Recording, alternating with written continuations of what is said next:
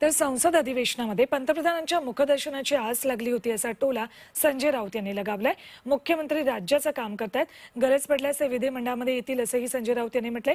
तर पंतप्रधान मोदी रोजच्या कार्यालयीन कामकाजामध्ये उपस्थित असतात असतात असं प्रत्युत्तर चंद्रकांत पाटलांनी दिलंय. वीस बावीस दिवसापासून संसदेच्या अधिवेशनामध्ये माननीय प्रधानमंत्री नरेंद्र मोदी यांचं मुखदर्शन व्हावं यासाठी पराकाष्ठा करत होतो. पण आम्हालाही संसदेच्या अधिवेशनामध्ये काही क्षण सोडला सुरुवातीचा एखादा दिवस तर त्यांचं दर्शन बावीस दिवस दिवस होऊ शकणार आहे महाराष्ट्राचं मंत्रिमंडळ कॅबिनेट सक्षम आहे आणि मुख्यमंत्र्यांना गरज पडेल तर मुख्यमंत्री विधान भवनात येतील.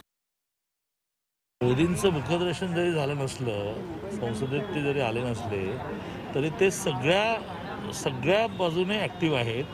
ते सहीला अवेलेबल नाहीत. ते लोकांना अवेलेबल नाहीत असं नाही आहे आणि माझा मुद्दा आहे तो प्रामुख्याने राज्य शासन हे विदाऊट मुख्यमंत्री चालणार नाही. हां. त्यामुळे कार्यक्रमांना गेलो. अधिवेशन काळ सुद्धा जातात ना कार्यक्रमाला. It's okay but you are not available for people who are not available for signature, who are not available for MLAs.